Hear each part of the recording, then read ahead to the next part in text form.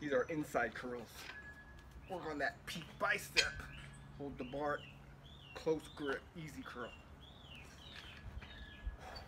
Keep the back straight, back very straight.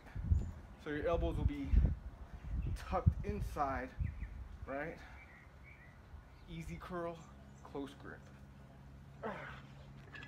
Two, three, four, five, six, seven, eight, nine, ten. All right? And then flex it out, straight up, down.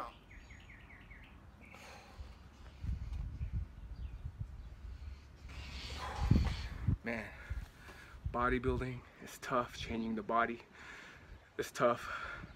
You really gotta push, push the limit. You gotta keep curling until you can't curl, and then you gotta curl some more. All right, the Ironman's coming up in less than 30 days.